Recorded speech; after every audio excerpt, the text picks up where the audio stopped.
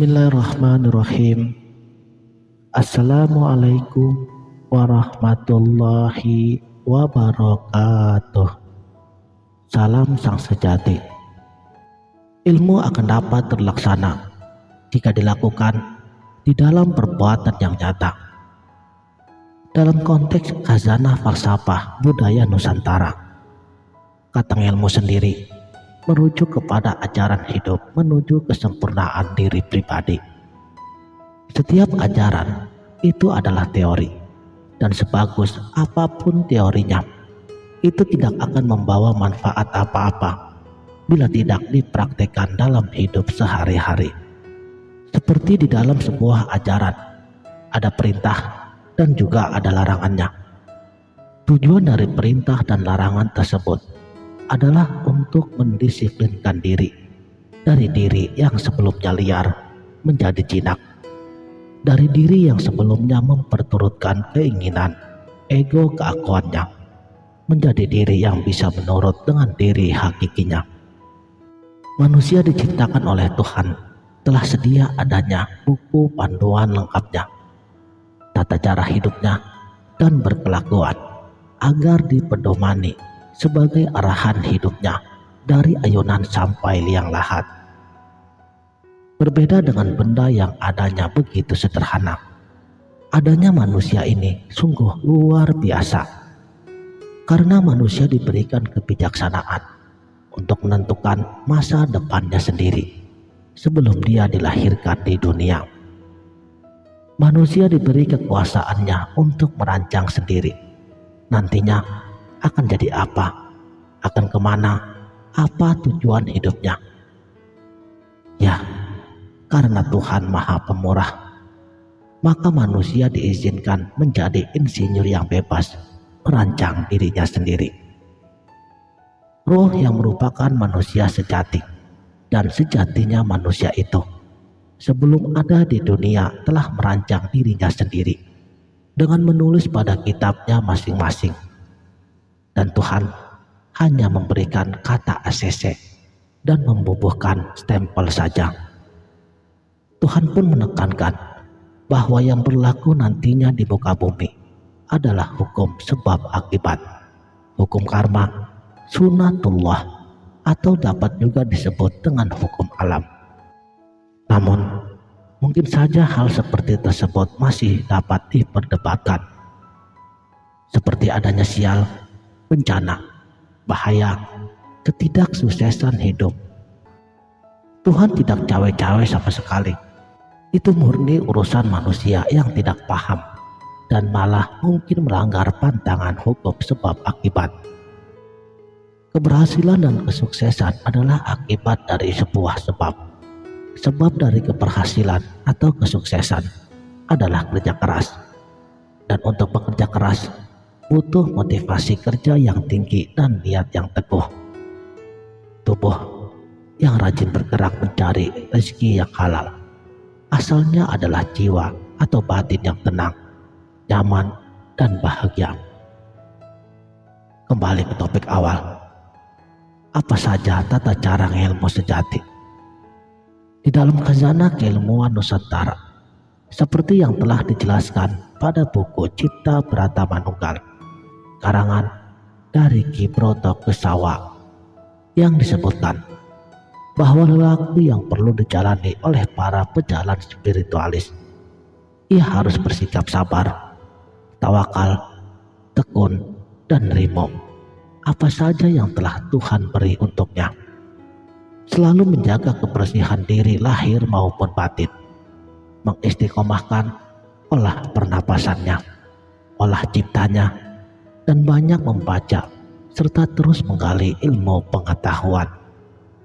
Selalu berusaha meluruskan segenap perasaan dan pikirannya agar senantiasa terarah. Dan jangan terlalu banyak bicara.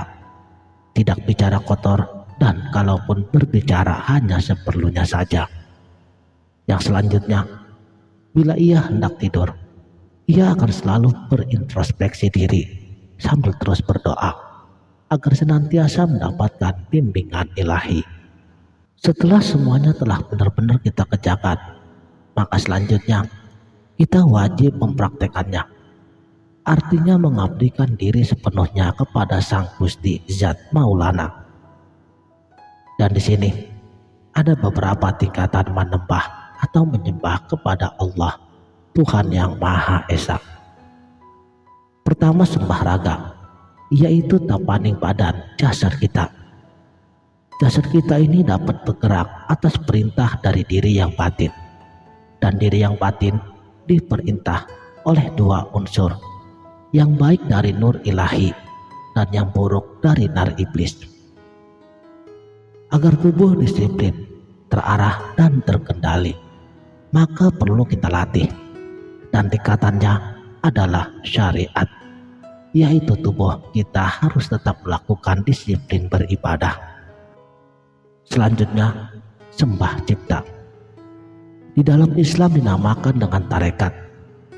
Sembahnya hati yang luhur, dan untuk mencapai hati yang luhur, diperlukan kesadaran nalar, logika yang bagus, sesuai dengan prinsip-prinsip logika yang baik. Dan Allah telah memperingatkan di dalam firman-Nya Buka surat Yunus ayat 100. Tujuan daripada sembah cipta ini adalah untuk mengerti akan kasunyatan. Makanya ilmu pengetahuan harus dikuasai agar memiliki perbandingan baik dan buruk. Dan kebijaksanaan akan lahir bila kita mampu menekan dan mengendalikan hawa nafsu kita. Memahami ilmu ketuhanan diperlukan syarat-syaratnya, yaitu berupa cipta yang bersih dari hawa nafsu dan juga olah nalar yang mumpuni. Karena ilmu ketuhanan adalah ilmu yang sangat halus, yang hanya bisa ditangkap dengan kegigihan memperhalus batin dan mentaati prinsip-prinsip berpikir yang lurus. Tujuan dari sembah cipta ini adalah untuk mengendalikan dua macam sifat, yaitu angkara yang menimbulkan watak adigang, adigung, adikunang, dan watak keinginan menguasai akan kepunyaan orang lain. Sedangkan untuk cipta yang bersih, yaitu kalau sudah bisa mengendalikan angkara murka, tandanya bila cipta sudah menembah yaitu waspada terhadap segala bisikan jiwa. Jadi, sembah itu intinya melatih cara kerja cipta dengan cara tata, titi, ngati ati, telaten dan atul. Atul adalah pembiasaan diri agar mendarah daging menjadi kebiasaan dan watak yang akhirnya terbiasa mengetahui sejatinya penglihatan yaitu pramana dan bisa dikatakan sampai kepada jalan sejati yaitu penglihatan pramana. Tanda-tandanya bila diri sudah sempurna sembah ciptanya maka ia telah berada di dalam kondisi kejiwaan sepi dari pamrih seperti tidak ingat apa pun lagi.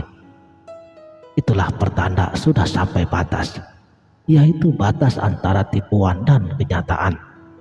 Jadi sudah ganti zaman, dari zaman tipuan menjadi zamannya kenyataan.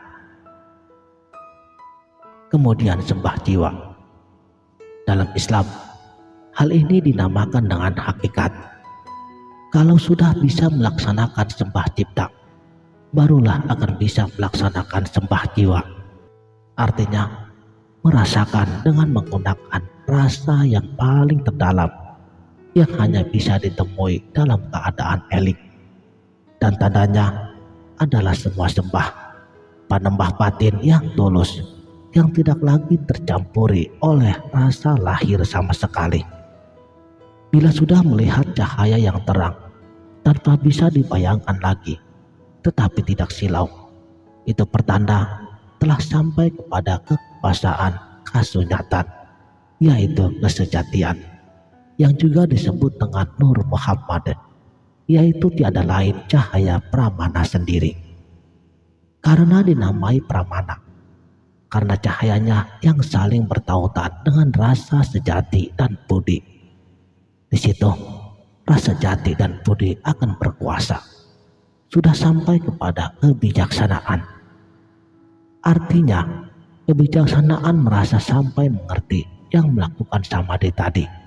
Saling berkaitan, tak terpisahkan dengan cahaya yang terang benderang yang tidak bisa dibayangkan lagi. Kemudian sembah rasa. Di dalam Islam, hal ini dinamakan makrifat. Sembah rasa itu adalah mengalami rasa sejati. Inilah rasa manusia yang paling halus, tempat semua rasa dan perasaan, dan bisa merasakan perlunya menjadi manusia yang berbudi luhur, serta menyadari bahwa dia adalah pribadi yang merupakan wakilnya Tuhan. Rasa hidup adalah rasa hakikat Tuhan yang ada Esa tanpa batasan dengan rasa semua ciptaannya.